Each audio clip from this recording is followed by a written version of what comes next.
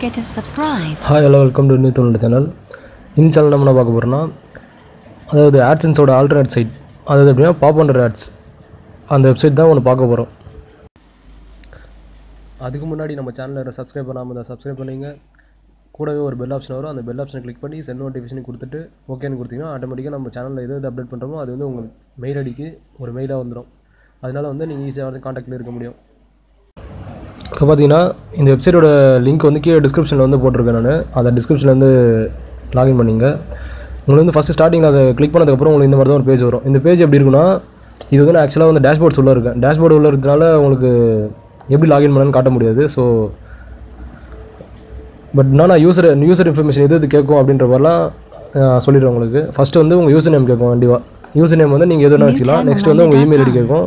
Next உங்கள் full name அப்புறம் வந்து நீங்கள் எந்த கண்ட்ரி அப்படின்னு கேட்கும் அப்புறம் ஃபோன் நம்பர் கேட்கும் நெக்ஸ்ட் வந்து உங்கள் ஸ்கைப் ஐடி அப்படி இல்லைனா ஃபேஸ்புக் ஐடி அப்படி இல்லைனா உங்களுக்கு கூகுள் டாக் அப்படின்ற மாதிரி எதனா எதனா ஒரு ஐடி கேட்கும் அந்த ஐடி உங்களுக்கு வந்து கொடுத்துருங்க. கொடுக்காம வந்து லாகின் பண்ண முடியாது. கண்டிப்பாக ஏதாவது ஒரு ஐடி வச்சுருக்கணும் கொடுத்துட்டு அப்டேட் சைன் அப் அப்படின்னு கொடுத்தீங்கன்னா ஆட்டோமேட்டிக்காக உங்கள் அக்கௌண்ட் வந்து கிரியேட் ஆகும் கிரியேட் ஆனதுக்கப்புறம் உங்களுக்கு எப்படி இருக்குன்னா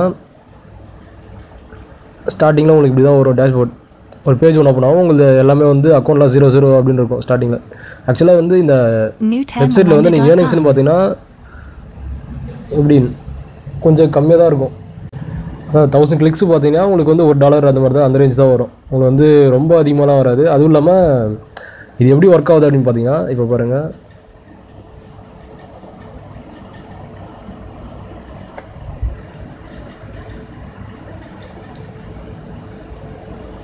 newtanmalanda.com.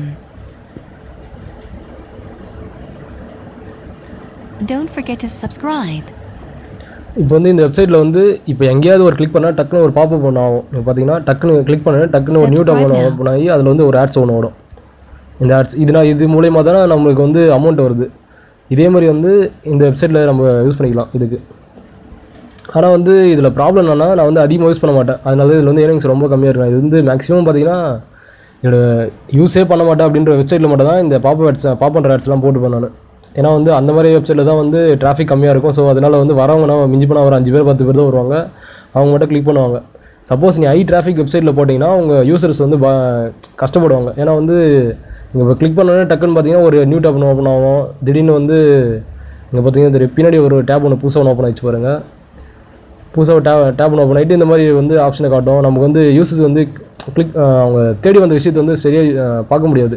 அதனால வந்து ரொம்ப கஷ்டப்படுவாங்க. அதனால வந்து நான் மேக்ஸிமம் இந்த வந்து ரொம்ப யூஸ் பண்ணாமல் எந்த வெப்சைட் வச்சுருக்கோம் அந்த வெப்சைட்டில் வந்து அந்த வெப்சைட்டில் தான் யூஸ் பண்ணியிருப்பேன் நான். பட் நீங்கள் யூஸ் பண்ணோம் அப்படின்னு நினச்சிங்கன்னா யூஸ் பண்ணுங்கள் அது உங்கள் இஷ்டம் அது. அதனால தான் எனக்கு வந்து ஏர்னிங்ஸ்லாம் ரொம்ப இதில் கம்மியாக தான் இருக்கும். பட் ரொம்ப நீங்கள் ஏன் எக்ஸ்பெக்ட் பண்ண அளவுக்குலாம் இருக்காது.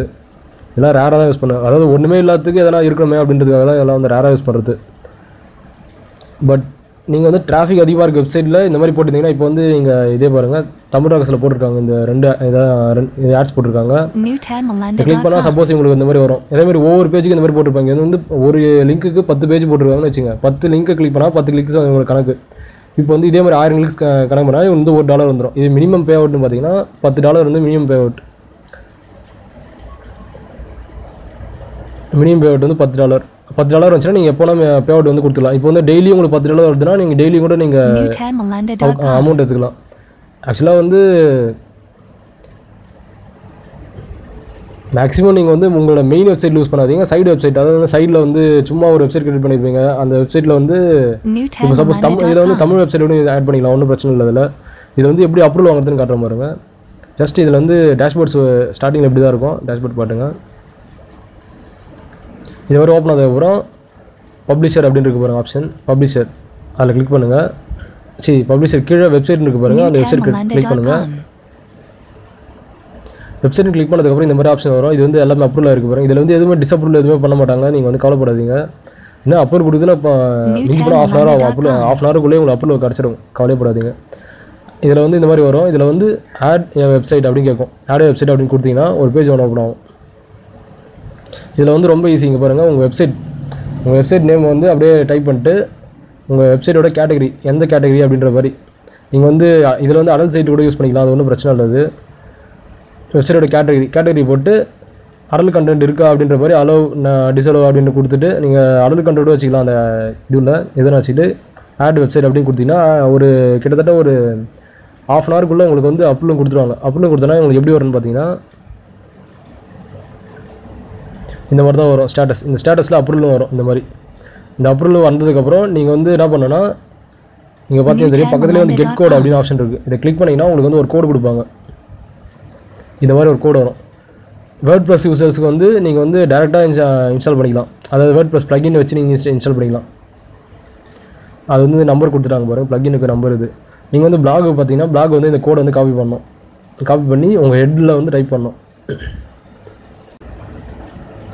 அதே மாதிரி வேறு வெப்சைட்டோட ஆட்ஸ் வந்து நீங்கள் இந்த வெப்சைட்டுக்கு போடக்கூடாது. உங்கள் இப்போ வந்து இதில் பார்த்தீங்கன்னா நான் வந்து கிட்டத்தட்ட ஒரு அஞ்சு வெப்சைட்டுக்கு அப்ரூவல் வாங்கியிருக்கேன்னு வச்சுக்கோங்க. அந்த அஞ்சு வெப்சைட்டுக்கு எந்தெந்த வெப்சைட் அப்ரூவ் வாங்கணும் அந்தந்த வெப்சைட்டுக்கு அந்தந்த கோடு மட்டும் தான் பேஸ் பண்ணணும். மாற்றி கோடு பேஸ் பண்ணாலும் ஒர்க் ஆகாது. ஸோ அது வேஸ்ட் ஆகிடும் அதனால வந்து நீங்கள் கரெக்டாக அந்த எந்தெந்த வெப்சைட் அப்ரூவ் வரும் அந்தந்த வெப்சைட் மட்டும் கோடு இது பண்ணுங்கள் ஜஸ்ட் உங்கள் இப்போ பிளாக் உள்ள போயிடுங்க தீம்ஸ் தீம்ஸ் போனதுக்கப்புறம் இதில் வந்து இந்த மாதிரி வரும். இதில் வந்து எடிட் ஹெச்டிஎம்எல் அப்படின்னு கொடுப்பேன் எடிட் HTML கொடுத்ததுக்கப்புறம் இந்த மாதிரி ஒரு பேஜ் ஓப்பன் ஆகும். இதில் பார்த்தீங்கன்னா நீங்கள் ஸ்டார்டிங்கில் ஹெட்டுன்னு இருக்குது பாருங்கள் இந்த ஹெட்டுக்கு கீழே. நீங்கள் இங்கேயும் டைப் பண்ணலாம். இதுலேயே வந்து இந்த ஹெட்டு ஸ்லாஷ்னு ஒன்று ஆப்ஷன் இருக்கும். இப்போ காட்டுறோம் பாருங்கள் ஃபஸ்ட் இப்போ ஹெட்டுக்கு இந்த கீழே வந்து டைப் பண்ணிட்டேன். சேவ் சேஞ்சஸ் அப்படின்னு கொடுத்தாச்சு.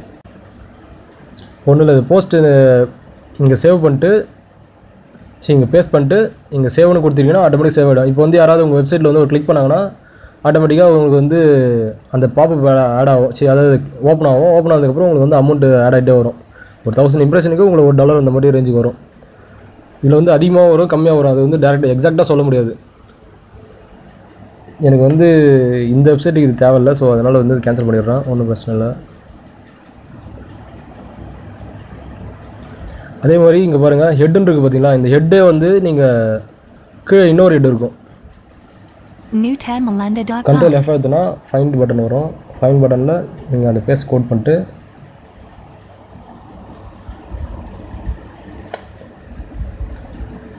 இங்கே பார்த்தீங்கன்னா இங்கேயும் ஒரு ஹெட்னு இருக்குது பாருங்கள் இந்த ஹெட்டு கீழேயும் போட்டுக்கலாம் இங்கேயும் மேலேயும் நீங்கள் இந்த கோடு வந்து பேஸ் பண்ணிக்கலாம். அது வந்து உங்கள் இஷ்டம் அது. நீங்கள் வந்து அங்கே அங்கே ஃபஸ்ட்டு ஸ்டார்டிங்கில் தான் உங்களுக்கு போய் பேஸ் பண்ணணும் அவசியம் இல்லை. இங்கேயும் கூட பேஸ் பண்ணிக்கலாம். இது கீழே போட்டுக்கலாம் மேலே போட்டுக்கலாம் வேறு எதுவும் இல்லை. நெக்ஸ்ட்டு பார்த்தீங்கன்னா உங்களுக்கு இதில் செட்டப் பண்ண வேண்டியதுன்னு பார்த்தீங்கன்னா உங்கள் மேக்ஸிமம் வேறு எதுவும் செட்டப் பண்ண அவசியம் இல்லை. ஜஸ்ட் இந்த மாதிரி இது கிரியேட் பண்ணதுக்கப்புறம் வந்துச்சு. நெக்ஸ்ட் வந்து பே அவுட் எப்படி எடுக்குதுன்னு பார்த்தீங்கன்னா இங்கே பில்லிங் இருக்குது பாருங்கள் பில்லிங்னு கொடுத்ததுக்கப்புறம் கேஷ் அவுட் அப்படின்னு கொடுத்தீங்கன்னா உங்களுக்கு வந்து இந்த மாதிரி ஒரு ஆப்ஷன் வரும். இந்த. ஆப்ஷனில் வந்து மினிமம் இங்கே பாருங்கள் மினிமம் கேஷ் அவுட் வந்து டென் டாலர் அப்படின்னு போட்டிருக்கு. இங்கே வந்து டென் டாலர் டென்னு கொடுத்து நீங்கள் உங்கள் அக்கௌண்ட் வந்து டென் டாலர் ரீச் ஆச்சுன்னா டென்னு கொடுத்துட்டு உங்கள் பேபாலோட அக்கௌண்ட்டோட இமெயில் அட்ரஸ் இமெயில் அட்ரஸ் கொடுத்தீங்கன்னா ரெக்வஸ்ட் கேஷ் அவுட் அப்படின்னு கொடுத்தீங்கன்னா அதாவது உங்களுக்கு வந்து வெறும் பேபால் மட்டும் தான் வேணுமா? இல்லை வேறு எங்கன்னா பேசா பே இந்த மாதிரி நிறைய வெப் பண்ணி அந்த மாதிரி நிறைய ஆப்ஷன் இருக்குது நீங்கள் எதுவும் செலக்ட் பண்ணலாம் மேக்ஸிமம் பேபால் யூஸ் பண்ணுறது பெஸ்ட்டு பேபால் கொடுத்துட்டு ரெக்வஸ்ட் கேஷ் அவுட் அப்படின்னு கொடுத்தீங்கன்னா ஆட்டோமேட்டிக் உங்களுக்கு வந்து ஒரு கிட்டத்தட்ட ஒரு நாலஞ்சு நாளில் உங்களுக்கு வந்து பேமெண்ட் வந்துடும் சப்போஸ் உங்களுக்கு வந்து இந்த பாஸ்வேர்ட் சேஞ்ச் பண்ணணும் அப்படின்னு பார்த்தீங்கன்னா இங்கே வந்து அக்கௌண்ட்டில் போனீங்கன்னா அக்கௌண்ட் மேனேஜர்னு போகிறேன் அக்கௌண்ட் மேனேஜரில் போனீங்கன்னா உங்கள் ப்ரொஃபைல் எடிட் பண்ணிக்கலாம். நெக்ஸ்ட் வந்து உங்கள் சேஞ்ச் பாஸ்வேர்ட் பண்ணிக்கலாம். பில்லிங் எடிட் இன்ஃபர்மேஷன் வந்து எடிட் பண்ணிக்கலாம். அந்த மாதிரி வந்து நிறைய ஆப்ஷன்ஸ் இருக்கும். நீங்கள் வந்து எதனா சேஞ்ச் பண்ணுறதா சேஞ்ச் பண்ணிக்கலாம். இந்த வீடியோ உங்களுக்கு பிடிச்சது சப்ஸ்கிரைப் பண்ணுங்கள் தேங்க்ஸ் ஃபார் வாட்சிங் இதே போல் நல்ல வீடியோவில் நெக்ஸ்ட் டைம் உங்களை பார்க்குறேன் Don't forget to subscribe. newtamalanda.com.